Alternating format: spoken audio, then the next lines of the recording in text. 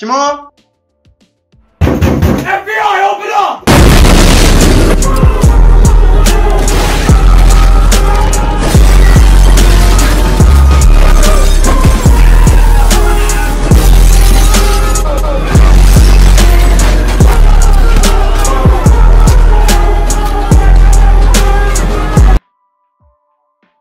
Lan Flash TV'de zor çekiyorlarmış be. evet Vedat, burada neden olduğunu biliyor musun? Hayır, herhangi bir bilgi vermedi arkadaşlar. Pekala pekala. Aldığımız bilgilere göre Offtek TV'ye ait olan NC Times yani Noobcraft Times'ın elmasları çalınmış. Bununla alakalı bir bilgin var mı Vedat? Evet, e, kendisiyle alakalı bir bilgim var. Olayla alakalı. Ha, seni dinliyoruz o zaman. Ben serverda yapılan gazeteleri geziyordum. e, yerlerini bildiğim için. Tek tek gezmeye başladım. Off Day'in gazetesinin olduğu yere geldiğim zaman iki tane kişiyi gördüm. E, bunlar şüpheli davranıyorlardı. Fazla yaklaşmadım yanlarına. Beni gördüklerini sanmıyorum o yüzden. Evet bu gördüğün kişileri tanıyor musun Vedat? İsimlerini verebilir misin? E, ilk başta arkaları dönüktü. Pek bir şey göremedim ama bir süre izledim tabii ki de onları. E, birini gördüm. Server'a dedektif kılığında girmiş olan e, MVP 07'ydi biri. E, diğerini de yüzünü göremedim. E, görsem de tanımıyorum. Sanırım yabancı. E, üstünde İrlandalı kıyafeti vardı kendisinin. E, bilgilerim bu kadar. Pek net değil dediğim gibi. Evet Bu kadar. MVP 07 ve İrlandalı kıyafete sahip olan bir kişi. iki kişiler yani bunlar. Aynen öyle. iki kişi gördüm. Ha, pekala pekala. Bu kişilerle yüzleştirdiğimizde, karşılaştırdığımızda bu ifadelerini değiştirmeyeceksin değil mi? Hayır. Pekala. MVP 07 kesin olarak gördün ama. Tabii kesinlikle gördüm. Pekala Vedat, şu an sorgun bitti. Seni birazdan ifadelerin tamamen yazılı olarak alındıktan sonra serbest bırakacağız. Katkıların için teşekkürler. Kendine iyi bak. Rica ederim ne demek. Hükümetimiz bunların üstesinden gelecek arkadaşlar. Elmas hırsızlarını da bulacağız. İnşallah.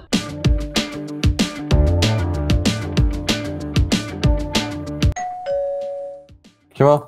Kimsin lan? Beyefendi evde misiniz? Ee, bilmem. Olmamı ister miydiniz? Evet isteriz. Bir yukarıya çıkalım. Tamam, hadi gel, Orayı gel. açarsanız Tamam. yukarı bir gelelim. Tamam gel gel gel. Hadi tamam ya. Lanet olsun. Heh, Merhabalar merhabalar. merhaba buyur. Şimdi birkaç gün önce NC Times'ın elmaslarının çalınmasıyla alakalı bir soruşturma yürütüyoruz ve bununla alakalı sizin ifadenize başvurmamız gerekiyor. Bizimle gelir misiniz? NC Times. O ne? Evet, NC Times bir gazete beyefendi. Allah Allah. Kendilerinin elmasları çalınmış. Yaklaşık 68 adet elmas bloğu çalınmış gazetenin. 68 adet. Ay Evet, maşallah. evet. Hangi kaslı biri çaldı acaba ya? Yani onu şimdi merkezimize gidelim. Orada alacağımız ifadeler doğrultusunda netleştireceğiz. Lütfen bizimle gelin. Şey diyeceğim de neden ben? Bir ton insan var burada. Yani sizinle alakalı görgü tanıkları olduğu söyleniyor. Merkeze gittiğimizde zaten daha detaylı bir şekilde anlaşılacak bu. Ne yapıyorsun lan? Pardon pardon kolum Yumruk. Çarptı. Baktan çekiştiririm sizi. Neyse hadi olsun. Tamam gidelim ya. Yani lütfen. Evet merhabalar beyefendi. Hoş geldiniz öncelikle. Merhaba elinizdeki kanadı bayağı beğendim bu arada. Yani kanat gözüküyor pardon. Şimdi beyefendi sizi buraya almamızla alakalı bir fikriniz var mı? Onu sorayım size. Yok. Yani evde de söylemiştim ama.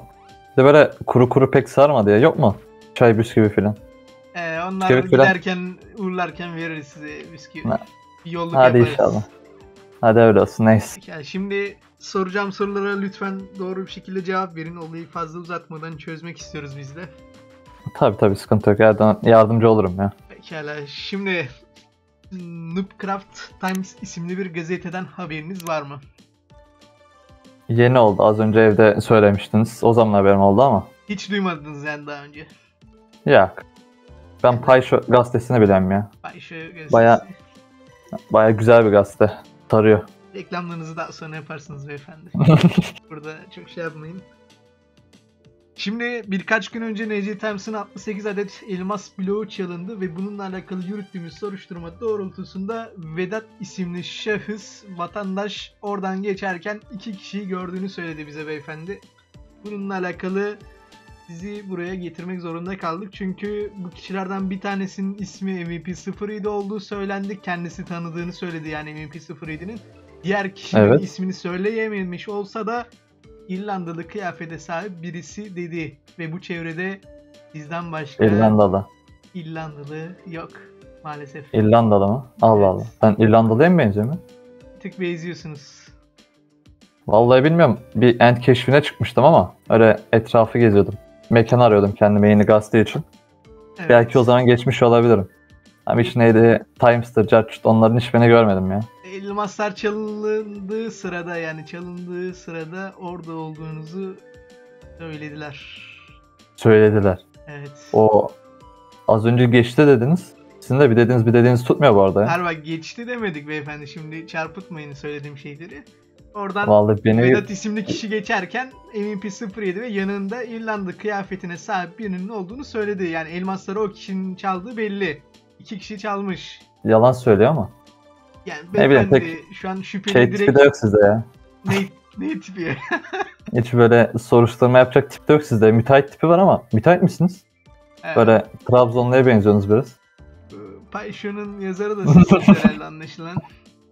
Aynen sahibi olduğum için severim de kendisini. Ya Hem bunu- yazarı hem okuyucusuyum ya. Şimdi olayı büyütmeden neden çaldığınızı söyleyin ona göre olayları tamamlayalım bence. Çalmak mı? Evet. 68 adet yakıştıramadım. Abi ben çalmadım. Takas yaptım. Takas neyle takas yaptınız? Fener'le mi? Aynen. Dediğim gibi elmaslarını verin. Onlar da o da size geri fenerlerini verir artık. Halledersiniz o şekilde. Tamam biz Oftek TV ile şey yaparız ya. Sizi pek açıkçası gözüm tutmadı ama. Neyse hadi görüşürüz ben gidiyorum ya. Oftek TV bulsun beni. Pekala kendisine bildiririz.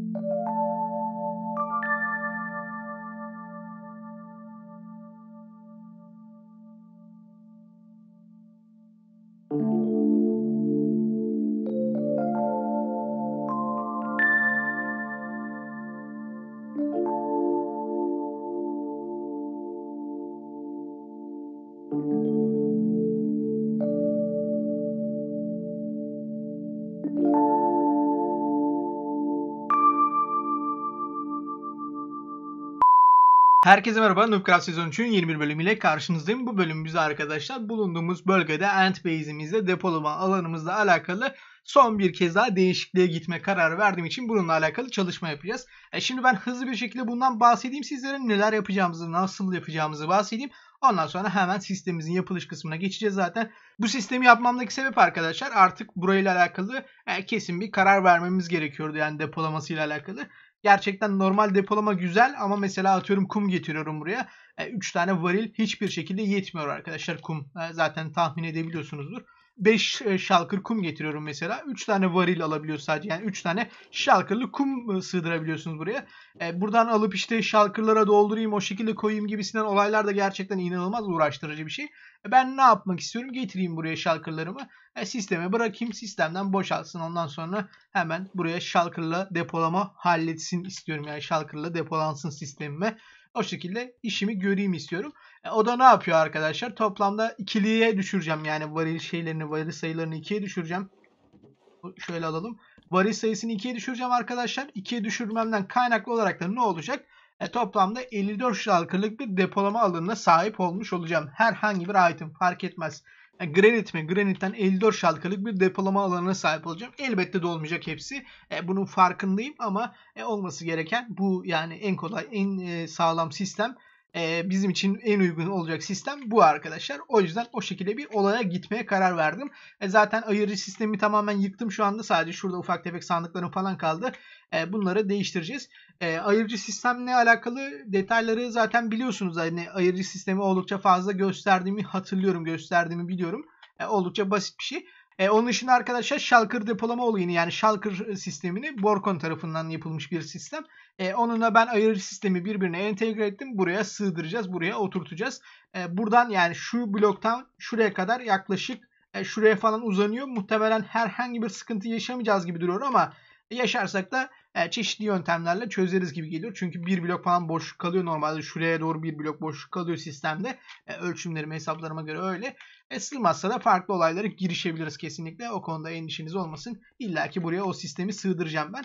E, onun dışında ben burada biraz buğday falan filan bunları denedim. E, bunlar tabii ki hala işimi görmüyor. Muhtemelen köylü sistemine çevireceğiz bunu. Otomatiğe çevireceğiz tamamen. Onun dışında şurada 3-5 tane şeker kamışımız var. Onu da muhtemelen daha büyük, daha geniş hale getireceğiz.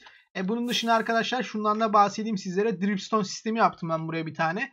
E, normal boyları uzadığında bildiğiniz gibi işte gözlemcinin hizasına yukarıdan ve aşağıdan denk geldiği anda e, pistonların tamamı çalışıyor ve bunları kırıyor. E, gerçekten güzel bir sistem ama oldukça verimsiz bir sistem açıkçası bu. E, yani hiçbir şekilde bunun verimini elde edemiyorsunuz. E, verimi elde etmek için e, çok basit yöntem nedir? E, ne yapacaksınız? İşte 10 tane varsa 20 tane yapacaksınız. 20 tane varsa 40 tane yapacaksınız. Şu an burada 32 tane aşağıda 32 tane yukarıda 64 tane dripstone büyüyor ama e, oldukça verimsiz yani sayı anlamında gerçekten üzücü bir miktar. E, bunları köylülerden alabiliyoruz. Bloklarını köylülerden alabiliyoruz ama e, dripstone hallerini köylülerden alamıyoruz. E, ben dripstone kasacağım. Bunları herhangi bir şekilde bloğa çevirmemeye karar verdim. E, onun dışında işte dripstone blok işimize yararsa eğer köylülerden alırız. O şekilde hallederiz gibi geliyor bana. Ee, bunun dışında dediğim gibi bunun sayısını artıracağız. Burayı ben öylesine yaptım. Şimdi inek farmında AFK'yken burası çalışsın diyerekten yaptım. İnek farmımızda gösterecek olursam buraya da şalkır depolama getireceğim bu arada. O da işimize yarayacak bir şey. İnek depolamamız gerçekten yani inek farmımız daha doğrusu gerçekten güzel bir şekilde çalışıyor gördüğünüz gibi. Ee, nerede koyduk biz onları? Şurada koyduk galiba. E, toplam gördüğünüz gibi 2, 4, 6 şalkırlık bir inek e, etimiz var arkadaşlar. 3 şalkırda leather'ımız, derimiz var gördüğünüz gibi burada. 2,5 şalkır diyebiliriz ona. E, burada da işte sistemde de var. Birer şalkır, e, ikişer şalkır, üçer şalkır civarlarında, iki üç şalkır civarlarında. E, bu şekilde bu sistem çalışıyor. E, ben dediğim gibi ayırıcı sistemimizi şalkıra çevireceğim. Bu bölümümüzün konusu tamamen bu. E, bununla alakalı ufak tefek detaylardan bahsedeyim. Nasıl yapıldığına dair bilgilerden bahsedelim size. Ona göre siz de o şekilde yaparsınız. Zaten e, Borko'nun videosunu veya işte farklı kanalların videolarında illaki görmüşsünüzdür diye tahmin ediyorum. Ama bir de benim anlatımımla izleyin, görün istiyorum. Hadi bakalım şimdi o kısma geçelim. Evet arkadaşlar ben şu anda sizlere bir tane Shulker depolamalı öğrenci sistemimizin bir kısmını yapayım. Yani bir haznesini yapayım, bir hücresini yapayım. Ondan sonra devamını ben video arasında veya işte hızlandırma olarak göstermeye çalışırım sizlere. Şimdi öncelikle buraya kadar çektik ya. iki tane varil kullanacağım ben sistemimde. Toplamda 54 hücrelik bir Shulker depolamam var. Toplam 54 Shulker'lık bir depolama alanına sahibim. E, bu şekilde yaptıktan sonra arkadaşlar bunun üzerine herhangi bir şekilde huni koymuyorsunuz. İki tane huni bu şekilde getirdik. Bu konuda bir sıkıntı yok. Daha sonra bir tane hunimizi bunun üzerine bırakıyoruz ve bir tane elimize comparator alıyoruz. Okuyucu alıyoruz yani sinyal okuyucu. Ve comparator'ı bunun üzerine bıraktık. Buraya kadar herhangi bir sıkıntımız yok. Daha sonrasında altın bloğumuzu şuraya bakacak şekilde yani şunun ucuna bakacak şekilde şöyle çekmemiz lazım ama oradan çekemediğimiz için şöyle çektim ben. Daha sonra bir tane redstone blok alıyoruz ve redstone bloğu önüne bırakıyoruz. Ondan sonra sinyalimizi bu şekilde bırakıyoruz. Altın blok olması tamamen tercih ama redstone bloğu şart burası için arkadaşlar. Ben sistemlerimi altın blokla kullanıyorum çünkü üzerinde redstone gerçekten çok güzel gözüküyor. Baksanıza altı redstone blok hiçbir şekilde anlaşılmıyor ama altın bloğu olduğu için sapsarı üzerine kırmızı gayet hoş bir görünüm veriyor bize. O yüzden o şekilde kullanmaya çalışıyorum ben elimden geldiği kadarıyla. Onun dışında arkadaşlar buraya yaptık ya bunun bir tane üzerine şey koyacağız. Şöyle bir blok çıkalım. Üzerine ne koyacağız? Hemen söylüyorum. Dispenser koyacağız bir adet. Dispenser'ımızı koyduk. Bunun üzerine shulker spamlanacak. Yani shulker'ın olayı da şöyle olacak gördüğünüz gibi. Onun dışında arkadaşlar bir tane huni çıkacağım ben bunun üzerine. Şöyle bir tane bir saniye hunimizi niye bıraktık üzerimize? Şöyle bir tane huni çıktık üzerinden. Daha sonrasında bir tane observer'ı şu gözleri şuraya bakacak şekilde, sinyali de buraya bakacak şekilde halletmemiz lazım observer'ımızı. Bakalım koyabilecek miyiz? Bir, birkaç kez yükselirsek eğer sanırım çok daha rahat bir şekilde koyabiliriz. Aynen böyle. Tertemiz koyduk. Observer'ımız tamam. Huni'miz tamam. Shulker'ımız tamam. Dispenser'ımız tamam. Dispenser bize boş Shulker'ı yukarıya doğru götürecek sistem şu anda. E, ne yapacağız arkadaşlar şimdiki yapacağımız işlemde bu dispenser'a yeni bir Shulker'ı nereden getireceğiz? Arkasına koyacağımız dropper sayesinde. Böyle dropper koyduk bir tane. Gördüğünüz gibi bu dropper sayesinde dispenser'ımızın içerisine besleyebileceğiz rahat bir şekilde. Onun dışında iki tane huni çıkıyoruz arkasına. Bir tane huninin üzerine yapışkan piston koyacağız şu tarafına. Böyle bir tane yapışkan piston koyuyoruz.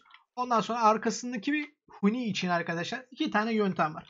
Ya isterseniz bu şekilde varil koyabilirsiniz. Ya da isterseniz işte sıralı bir şekilde hunileri yerleştirirsiniz. Şu e, varili alalım biz. Şöyle hunilerimizi yerleştirdik ya. Bu şekilde hunileri döndürürsünüz ve bunun üzerinden bir tane hunili vagon geçirerek bir tane işte buraya bir depolama sistemi yaparsınız e, varillerden, varil veya sandıklardan. Ne olur? Buradaki boş şalkırları alır, vagonla götürürsünüz, gezdirirsiniz sistem boyunca. Buradaki sisteme e, boş şalkır kazandırırsınız. Toplamda da şu anda 9 tane 9 hücre burası. 9 hücre burası 18. 5 hücre 5 hücre bu şekilde 10 hücre. Toplamda kaç? 28 hücrelik bir yani 28 tane şalkırlık boş şalkırlık bir alana sahipsiniz. Ama varil koyarsanız e, bu sayı doğrudan 27 fazla olduğu için ne oluyor? 55 şalkırlık bir boş şalkırlık bir alanımız olmuş oluyor. Tamamen tercih size kalmış. Ben başlangıçta varille yapacağım. Daha sonra belki e, onun içinde bir sistem yapabiliriz ilerleyen zamanlarda. Şuraya koyacağız. Fazla zıplamayalım. Daha sonra arkadaşlar bir tane observer'ımızı yukarıdan aşağıya doğru bakacak şekilde yani sinyali aşağıya bakacak şekilde gözleri yukarıya bakacak şekilde koymamız lazım. Hemen onu da halledelim istiyorum ben. Şöyle observer'ımızı koyduk. Temiz, güzel. Sonra bir yükselmek için birkaç blok koysak yeterli olur. Bunu aldık ya. Daha sonra arkadaşlar buradaki observer'da buraya gözü şu huniye bakacak şekilde koymamız lazım. Şöyle yapsak bizim için kafi olacaktır. Evet. Hemen hemen sistemimiz hazır sayılabilir aslında şu ana kadar. Daha sonra e, bunu koyduk ya. Bunun yukarısına da arkadaşlar e, toplamda 3 e, tane şöyle çıkacak dümdüz. Hatta şunu bir saniye kırayım ben sizlere daha açıklayıcı olabilmek adına. Evet gördüğünüz gibi onu kırdık. Bu şekilde olursa ne yapacaksınız? Buraya koyduğunuz buton sayesinde arkasına bir tane buton koyuyorsunuz. Sistem manuel olarak çalıştırabilmek adına. Bakın şu an çektik. Sistem eski haline. Eğer burada boş şalkır olsaydı sistemimize bir tane boş şalkır kazandırmış olacaktık. Ama şu anda herhangi bir şekilde üzerimizde boş şalkır olmadığı için daha doğrusu sistemimizde boş şalkır olmadığı için herhangi bir şekilde buraya boş şalkır spawnlayamadık tekrardan. Ben tekrardan göstereceğim sizlere bunu. Buraya depomuza boş şalkırımızı bıraktık. Dropper'a kadar geliyor. Dropper'a geldikten sonra buraya bir tane sinyal verdiğimizde bakın sistemin işleyişi şu anda bu. Gerçekten oldukça basit, oldukça güzel bir şekilde çalışan bir sisteme sahibiz şu anda. Borkon tarafından yapılmıştı sistem. En başta söylediğimi hatırlıyorum. E söylemediysem tekrardan hatırlatmış olayım sizlere.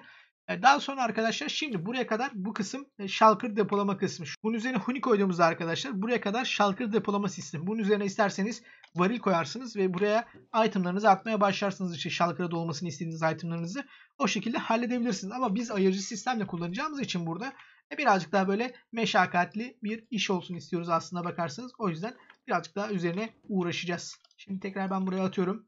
Hemen sistemi bir kere manuel çalıştırıyorum ve şalkırım geldi gördüğünüz gibi. Şimdi buradan sonra arkadaşlar toplamda bu hizadan itibaren 3 e, değil 4 e, huni çıkmamız lazım. 1, 2, 3 tane çıktık. Dördüncüsü bu tarafa doğru bakacak. Buraya ayırıcı sistemini yapacağız çünkü. Dördüncü kısım oraya bakacak. Böyle getirdik. Dördüncü kısım buraya baktı. Tamam oraya kadar sıkıntımız yok. Şunu da aldık. Daha sonra arkadaşlar burayla alakalı şöyle bir detayımız var. İsterseniz item tokatlama sistemiyle yani bal bloğu ve işte slime bloklarla beraber isterseniz itemlarınızı şurada başlatırsınız mesela. Buradan tokatlaya tokatlaya bir tane tokatladığınız anda buz üzerine kayarak buraya doğru gelir. Ama benim buraya o sistemi sığdıramamamdan kaynaklı olarak ben öyle bir şey yapmayacağım. Muhtemelen bütün hepsini bu şekilde Huni ile döneceğim arkadaşlar. O şekilde dediğim kısımda şu. Hemen sizlere göstereceğim. Şöyle Huni ile döndüreceğiz büyük ihtimal. Burası için yapılacak işlem bu. Bu şekilde Huni ile döndürdüğümden kaynaklı olarak da itemlarımız bu şekilde rahat bir şekilde sığabilecek. Ama siz dilerseniz hani bir blok daha aşağıdan olmasını istiyorsanız sistemin dediğim gibi item tokatlayıcı sayesinde e, slime blok ve e, işte honey blok yani bal bloğuyla beraber item tokatlayıcı yaparsınız ve şu üstteki hunileri yerine alttaki huni ile işinizi çözersiniz. Ben şunları kırayım hemen. Yapmamıza da gerek yoktu aslında ama şöyle bir, bir kez daha çekeyim ben oraya. Ne kadar olsun zaten tamamını şimdi göstermeyeceğim için sizlere herhangi bir sıkıntı yok. Bu huni içerisinde Ender Pearl'lerinizi yerleştirirsiniz. İşte 4 tane 5 tane kaç tane koymak isterseniz koyarsınız. Ondan sonrasında arkadaşlar şuradaki hazneye de ayırmak istediğiniz item'ı koyarsınız. Altın blok koyarsınız vesaire. Aleykümselam Ümit. Ee, dediğim gibi o şekilde halledebilirsiniz. Şimdi biz ne yapacağız? Hemen buranın ayırıcı sistemini yapmaya başlayacağız. Ayırıcı sistem içinde şuradan bir altın blok çıkıyoruz. Hemen 3 blokluk bu şekilde çıktık. Daha sonra Comparator sayesinde bu Huni'yi okuyacağız. Onlarda sıkıntımız yok. 3 blok çıktık değil mi? Tamam o konuda bir problemimiz yaşanmayacak. Daha sonra bir tane şöyle şöyle Şekli zaten item ayırıcı sisteminin şekli tamamen bu. Daha sonra ben birazcık yükselmek istiyorum. Şöyle bir tane repeater alıyoruz ve repeater'ımızı bu şekilde yerleştiriyoruz. Repeater'ın ucu bu tarafa doğru bakması şart. Onu zaten biliyorsunuzdur. Item ayırıcı sistemler oldukça kullanışlı ve bilindik bir sistem yani onunla çok fazla detayına girmeye gerek yok. Daha sonra bir tane torcu buraya bırakıyoruz. Huni'yi kitlemek adına yapıyoruz bu işlemi de. Daha sonra redstone tozlarını alıyoruz ve böyle yerleştiriyoruz. Aslında burası şu anda artık hazır durumda. Bakın herhangi bir şekilde item'ı çekmiyor. Buraya koyduğumuzda hala çekmiyor. Bir tane daha koyduk çekmiyor. 2, 3 olduğunda bakın 21'e düşürdü. 4 olduğunda 20, 19, 18, 17.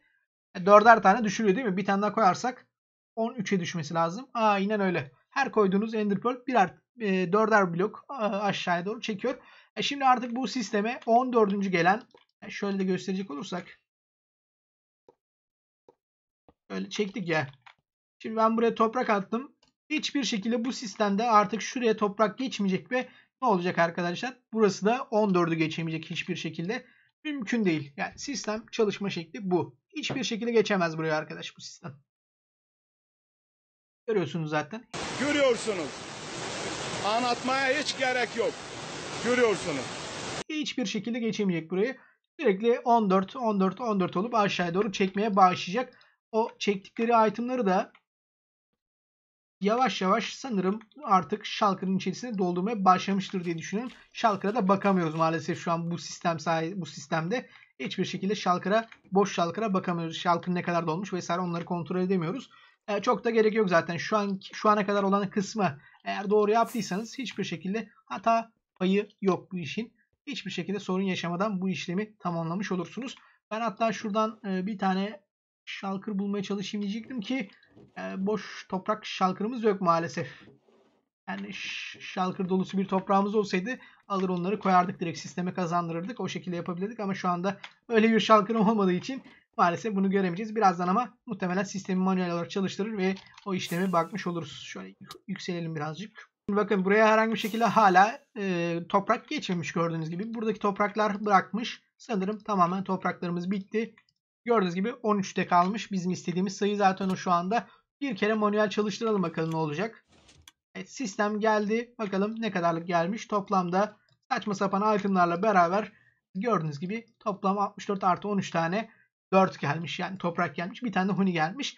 E, dediğim gibi bu e, bunun dışında arkadaşlar bahsetmek istediğim şöyle bir detay var. Hatta şurada göstereyim sizlere. Şöyle bıraktık ya bu şalkırı şurada olarak düşünün. Yani şu e, dispenser'ın üzerinde olarak düşünün. Bu şalkır arkadaşlar hiçbir şekilde böyle birer tane dolduğunda dolu olarak algılanmıyor. Hatta bunu nasıl gösterebilirim sizlere? Şöyle alalım. Bıraktım. Bakın. Hiçbir şekilde bu şalkırın dolu olduğunu kanıtlayamazsınız. Ama işte bir kez daha manuel çalıştıralım bunu. Bakın. Aldık. Koyduk. Şimdi bir tane böyle dolu bir şalkır bulabilir miyiz acaba buradan? Sentlerle alakalı bulabiliriz sanırım. Aynen. Şimdi sendimizi gerçi son bloğu gelmesi lazım sanırım. Algılaması lazım. Yok bakın direkt okudu ve şalkırın dolu olduğunu anladı ve sisteme kazandırdı. Bakın hiçbir şekilde dolu olmadığı sürece yani doluluktan bahsettiğimde arkadaşlar gördüğünüz gibi hepsi 27 hücrede 64'erli stacklenebilir eşya şeklinde. İsterseniz buraya 16'lı Ender Pearl de koyabilirsiniz. 16'lı Ender Pearl'ü de algılıyor olması lazım yanılmıyorsam. Daha sonra Ender Pearl'leri bırakalım. Bir stack kalsa bizde yeterli. Ender Pearl şalterını bakalım gönderelim. Sistem bunu kabul edecek mi? Muhtemelen edecektir diye düşünüyorum. Çünkü bu Ender Pearl'ler bu kadar stacklenebiliyor. Şöyle koyduk. Evet bakın. Yani Ender Pearl'ün üzerine 17.si gelmeyeceğini bu sistem çok rahat bir şekilde biliyor çünkü okuyucumuz var. Minecraft'ın kodlamasında bu şekilde işlenmiş bu. Herhangi bir şekilde Ender Pearl'ün 17. 16'ın üzerine 17. Ender Pearl gelmeyeceğini bildiği için sistem yani şu okuyucular, komparatörler hiçbir şekilde hata payı mümkün değil. Kumlar aynı şekilde 64'ün 65 olmayacağını biliyor. Ya da 63 olduğunda mesela onu da göstereyim sizlere. Bakın şu an 63 ya. Kırdık.